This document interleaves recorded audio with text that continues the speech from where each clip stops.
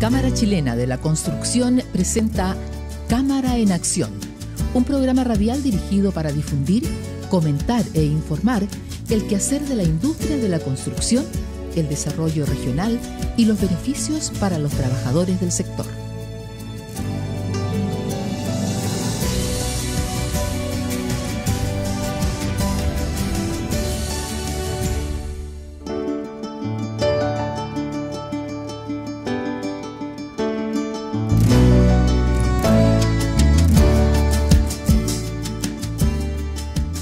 Muy buenas tardes y bienvenidos al programa Cámara de Acción, iniciativa de la Cámara Chilena de la Construcción, CEDARICA. Como siempre, la cita, este encuentro es todos los lunes de 12.30 hasta un poquito antes de las 13 horas por la señal de Radio Capísima 104.9 y por capísimamultimedial.cl para todo el mundo.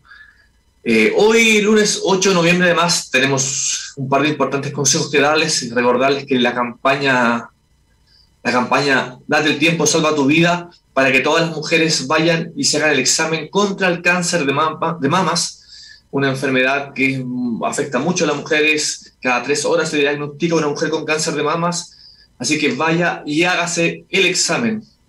Puede ser incómodo, sabemos, pero es fundamental que vaya y que lo haga. Y además les, les recordamos que la última semana de octubre la Cámara realizó el encuentro Ciudad Vivienda Mixtura Patrimonial, en la cual se dio a conocer un mapa interactivo, donde se destacan diversas edificaciones simbólicas del casco antiguo, como la aduana, la estación del ferrocarril, la casa boloñesa, entre otras, lo que será un aporte para el turismo. Para, si usted puede verlo, lo puede compartir con sus amigos, con sus contactos, se mete a cchc.cl, busca ICA a la esquina superior y después mapa interactivo, y ahí hay un mapa que usted puede tomar, reenviar a sus contactos, lo puede también si quiere alojar en, si usted tiene una página web, lo puede alojar en la página web. Es, eh, esto es trabajar en red para promover el turismo y es un primer paso para apoyar el quehacer en aquí la región de Arica y Parinacota.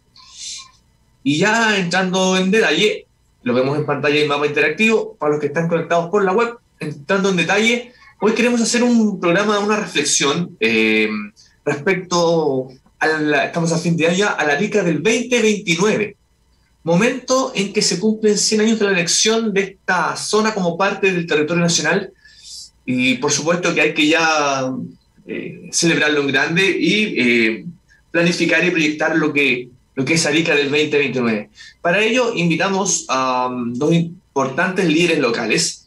Hoy es Alejandra Acevedo, quien es de la Cámara de Turismo, y también a Donaldo González de la Cámara de Comercio, a quien damos la bienvenida y que esperamos a ver si nos escuchan. ¿Cómo está Alejandra? ¿Cómo está Aldo? Buenas tardes.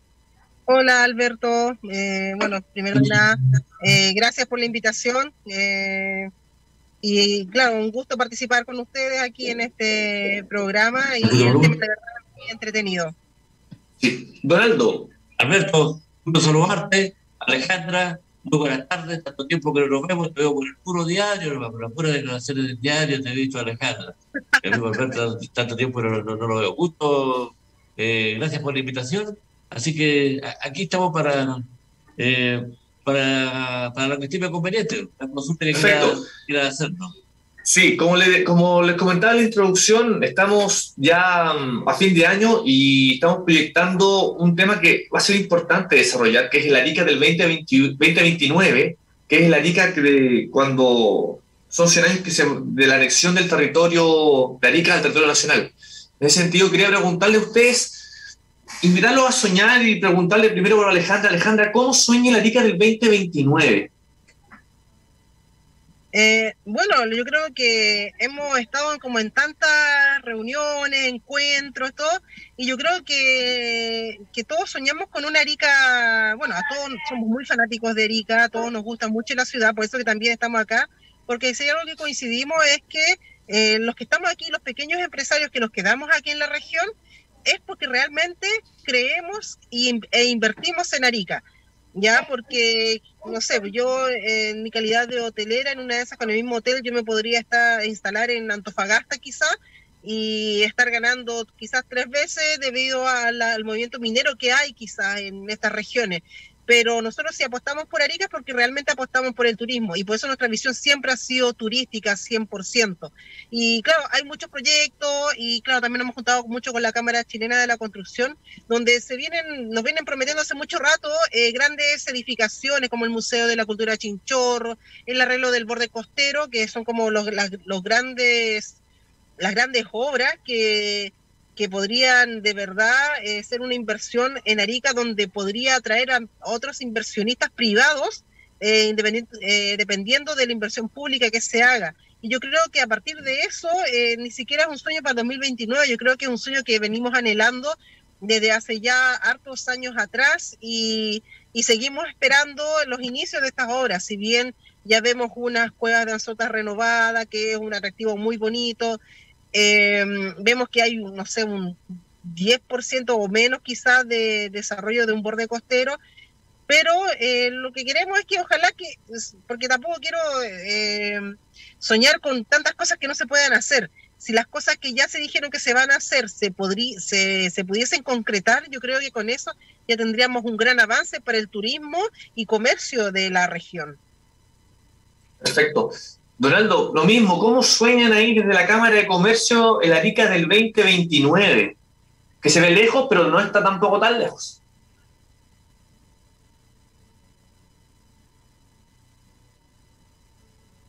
Donaldo, ¿me escucha? Tiene el micrófono silenciado. No sé si me logra escuchar. Ah, ahí, a mí me tiene pillado la tecnología, me tiene bien pillado en ese aspecto, así que Mire, yo creo que son bien pocos los que estén soñando lo que va a pasar el 29, como todo cambia tan rápido, todo ha evolucionado, la tecnología, los avances, los, eh, avances que han sucedido en el país eh, y mundialmente también eh, muy rápido. nos hemos adelantado los cuatro o cinco años con mucha facilidad, muchos cambios, reemplazando al personal prácticamente de esa forma con la tecnología, ¿cierto?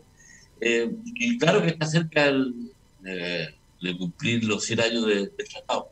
Pero en ese aspecto yo diría, sinceramente, la gente no está muy preocupada. Yo creo que la gente ya tiene eh, otro concepto de eso, de, vivir a un mayor acercamiento, ya no tanto de frontera, sino más humana, más que nada, comercial, eh, turística, porque uno sabe prácticamente se vive una sola vez. Ya eso, ya eso confrontacional quedó en, el pasado. Y nosotros en ese aspecto tenemos que compartir, sobre todo con esta, hemos sacado varias lecciones con este, eh, con el COVID, ¿cierto? Con este, este, virus, que nos ha hecho reflexionar y tener eh, muchos cambios. Ahora también hacer proyectos a, futuro eh, con una inestabilidad política una inestabilidad económica y también un, descontento social que se ha, estas dos situaciones que suceden se ha producido un descontento social y, con una serie de reformas. Uno escucha que nada, que nada, mire, nada favorece, digamos, ni al comercio, ni, ni tampoco muy poco al, al turismo, ocasionando mayores costos operativos los costos operacionales van a ir en, aumento si se llegan a aceptar ciertas reformas. Eh, hay demasiado eh, populismo en nuestros candidatos que están eh, pregonando, entonces es muy difícil, es muy difícil visualizar un futuro, ¿cierto? Viene que estemos todos contentos y estemos todos de acuerdo. está muy polarizado, ¿cierto? La, la, política nuestra, muy demasiado polarizado. Y, y yo creo que a corto plazo no se, no se, no se vislumbra, digamos, que podamos, que las aguas se puedan calmar. Hasta que después de, la, de, las elecciones, yo creo que más o menos podemos ya sacar en cuenta eh, lo, lo, que va a suceder. ¿Qué mejor barómetro? Le digo sinceramente el comportamiento de la bolsa, el comportamiento de los créditos, el, el, comportamiento que está teniendo la inflación, que la inflación, imagínense, 1.3 fue el mes de octubre, es una cantidad altísima. Perfecto. Pero Donaldo, si, si de usted dependiera a lo mejor alguna, alguna obra, obviamente hay, hay que verla o el estado en que el país se va a encontrar en ese momento, pero una obra que usted, porque por ejemplo, esta se habla mucho de un centro cívico, de una desaladora, de otro embalse Livilcar que va vinculado al tema agrícola. Eh, el Museo Chizorro que están empezando ahí por el tema de Azapa, hacer otro a lo mejor un, algo en el, en el borde costero. ¿Vea usted alguna, alguna obra que a lo mejor emblemática que signifique un mover, levantar el ánimo a lo mejor? ¿Lo ve así? ¿Ve alguna obra destacada que le llame la atención de implementar a futuro? Yo sé que había, se hizo una, había unas 70, 80 horas por el plan de, de, zona norte, ¿cierto? El OXE, OXE el, plan de zona norte. Y el, único, el y lo único completo prácticamente estamos viendo el, el, el, el ¿cierto? Que va, va a ser muy bueno. Ojalá en la Zapa existiera algo parecido, pero uno no puede estar con, con, con puros sueños que en realidad no se van a, a, concretar.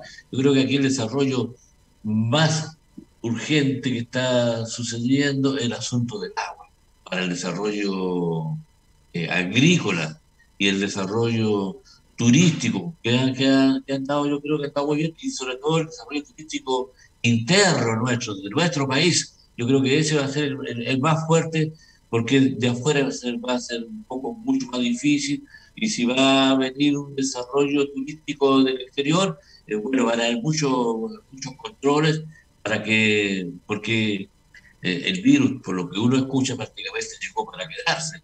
Y a corto plazo no se vislumbra que lo, podamos, eh, digamos, eliminar y quede como cualquier virus, ¿cierto?, de, que nosotros ya, ya tenemos sentado en nuestra, en nuestra vida se, ha perdido un poco el temor, las vacunas han servido mucho en ese aspecto del gobierno, tenemos que ver que eh, fue un papel muy importante que cumplió con la vacuna, porque eh, aminoró mucho la, la, cantidad de muertes en nuestro país, y, eh, pero la, población ha dejado un poco de cuidarse, porque piensa siempre que el vecino se va a enfermar, no uno.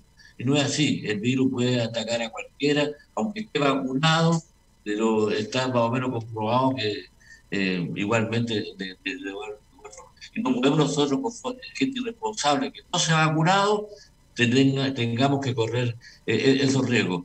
Pero ojalá que se puedan ir cumpliendo, uno va viendo, no, no se puede hacer, yo, no, no, veo proyectos a largo plazo, no sea, no sea lejano, si lo verán, pero yo creo que tenemos que ir viendo el día a día que podemos ir mejorando, porque ah, todo depende de la situación política y económica que, que nos veamos a futuro.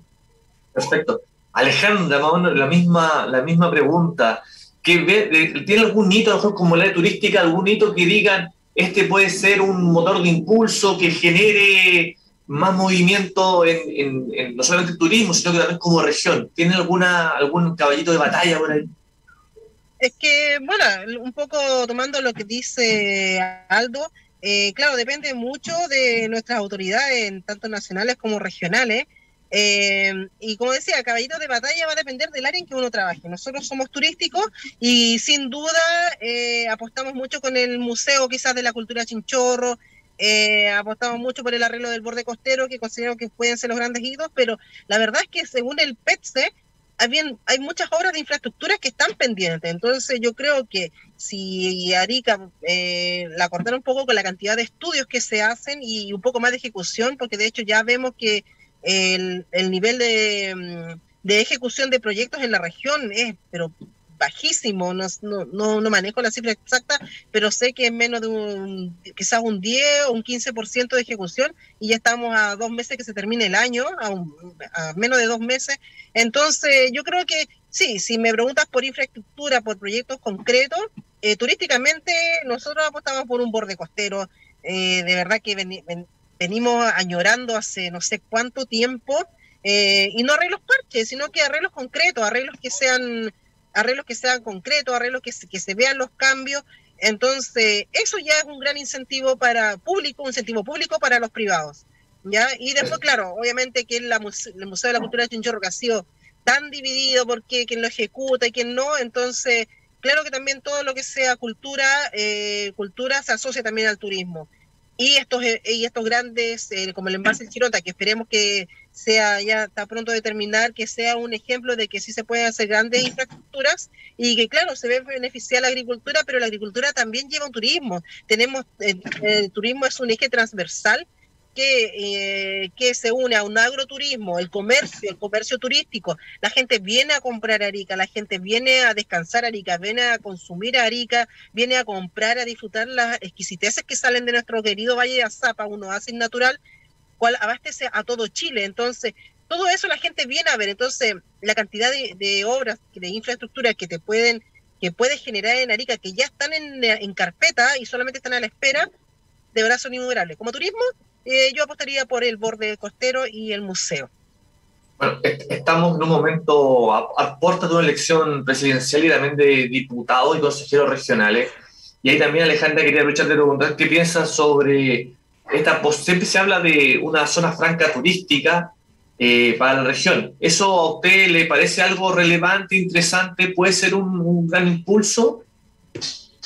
La verdad que nosotros como Cámara hemos, bueno, llevamos no sé, desde que yo entré a la Cámara, que venimos impulsando una zona franca de servicios turísticos, que sería como un gran impulso al turismo de la región, pensando en que la región es una de las pocas regiones que no se ve contaminada por minería al 100%, o sea, existe una minería muy pequeña, pero aprovechando eso podemos tener una, una, una región netamente turística.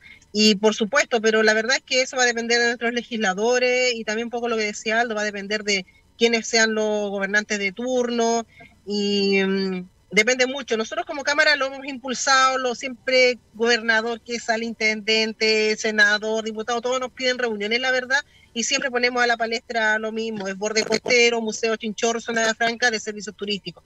Entonces, y, incluso si saliera una nueva idea, pero la verdad es que estamos llenos de tantas ideas, hay tantos estudios, eh, yo creo que, que con quedarnos con dos cosas ya sería como suficiente y empezar a ejecutar yo creo que la región está muy pobre en ejecución de proyectos. Yo sé que es mucho más fácil estudiar, pero eh, son pocos los, ejecutores. Mucho, mucho cacique, poco indio, por ahí decían. Alejandra, un poco, no sé, quizá un poco, no sé si desencantada en la palabra, pero cuando se plantea que constantemente se plantean ciertas iniciativas y que esto ya es eh, recurrente y no se está avanzando con la celeridad que uno le gustaría, insisto la pregunta, un poco desencantada con las respuestas. Eh, la verdad es que sí, porque nos invitan a muchas mesas, eh, la verdad es que uno como privado se agota porque cada una de estas mm. promesas, eh, cada una de estas promesas, o sea, cada una de estas invitaciones nos no absorbe tiempo, entonces nosotros invertimos tiempo en, en toda esta ayuda, yo sé que el público trabaja por esto por sus bonos. Yo sé que es su trabajo, pero algunas veces lo desgastamos con mucho estudio. Entonces sí, definitivamente hay un desencantamiento, ya no dan ganas de participar en todas las mesas que existen. Entonces, al final, si me invitaran a una inauguración, a la primera piedra de algo, yo creo que iríamos encantados. Pero a más mesas, de verdad, una se desencanta y agota. Perfecto. Pero en ese sentido también, a lo mejor ya no por grandes obras, pero sí una política ¿Existe, una política pública que a lo mejor podría ser significativa para Arica o ya está y habría que a lo mejor ponerse, aprovechar mejor los instrumentos disponibles? Mire, yo creo que hay que aprovechar, más lo que está disponible. También tenemos que ver una cosa, Alberto, que es muy importante. Ya las autoridades ya prácticamente no, están muy debilitadas están arreglando las maletas para irse y, ojalá ojalá ellos quieran irse lo más antes posible porque en todos lados ya no, no, no, no puede funcionar. Hay un, debilitamiento, todos vemos que no se respeta el Estado de Derecho, y el, el aumento también hay que ver eh, y, ser sincero con esto, que no se ha podido controlar la inmigración totalmente despedida, el aumento de la delincuencia y una delincuencia mucho más agresiva como la que existía. Y, eso es, una, es una verdad. Y las autoridades, las autoridades, sinceramente, ya, y, le digo, no están demasiado debilitadas a esta altura del camino y nosotros estamos aún a las puertas de unas elecciones y estas puertas de elecciones que faltan una semana, ¿cuánto faltan? Una semana y media, dos semanas, todavía estamos en etapa de poroneo. Ah, están todos, estamos recibiendo cualquier cantidad de ofertones, ¿cierto? Y, mirándolo con mucha sonrisa. Eh, en verdad, no sé qué país el que van a gobernar, porque todo se ve bellísimo, se ve muy hermoso, se ve que ahora sí que vamos a salir adelante, por eso yo creo que deberían gobernar los que, los, que van a perder, los que perdieron, porque siempre tienen muy buena idea. Pero estamos en etapa de, de pololeo en este momento, de encanto, y después del 21 vamos a llegar todo, todo a la, a la, a la, realidad. A la realidad. Imagínense cómo será que los candidatos no ponen ni al partido que pertenecen ahora. hija ya no sabe de dónde son, pues son un centro de madre o, pertenecen, no, no, no, se sabe. Porque nadie se ha sacado fotos ni con el presidente, ni con el señor senador, abrazado como salían antes, hace cuatro años atrás, abrazados, prácticamente, en, meta calugazo.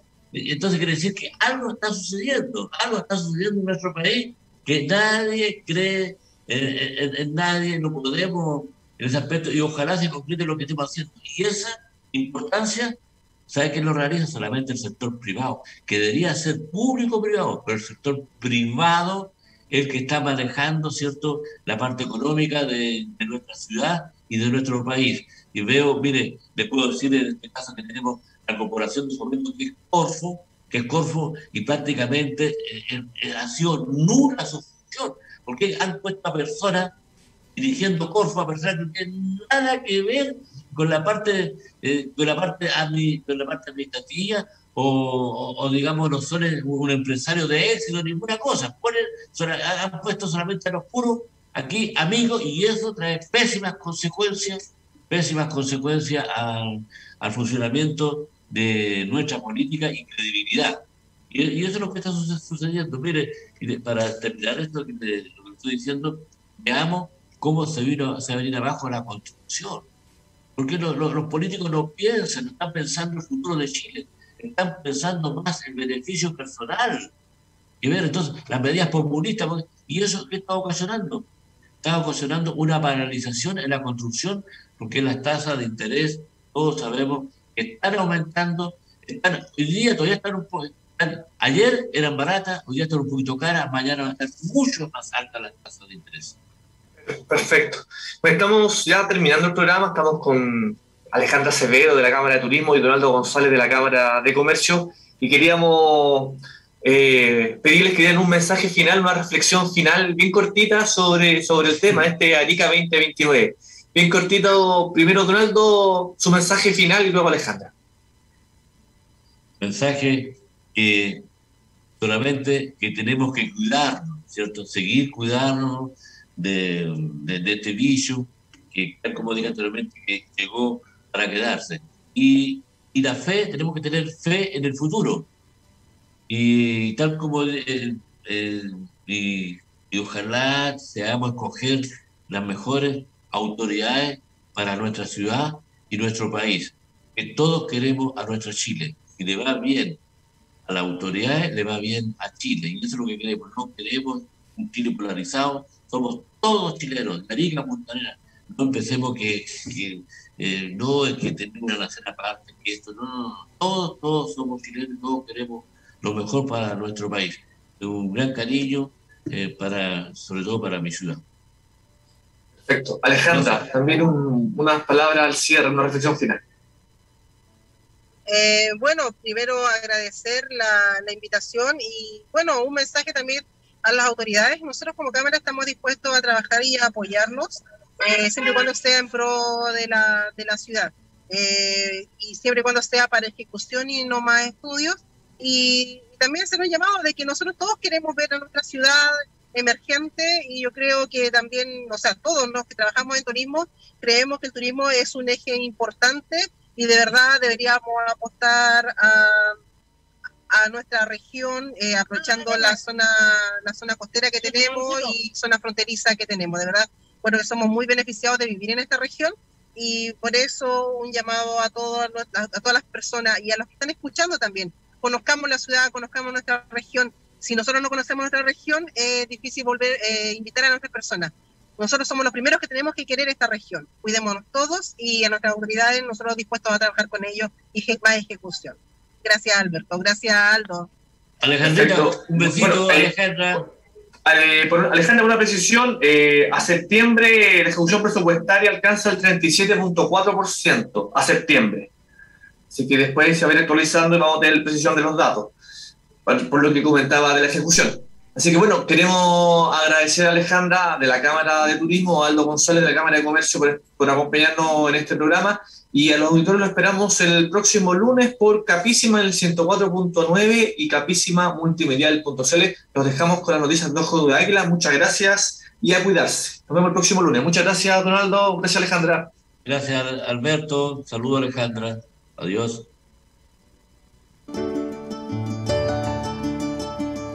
Cámara Chilena de la Construcción presentó Cámara en Acción.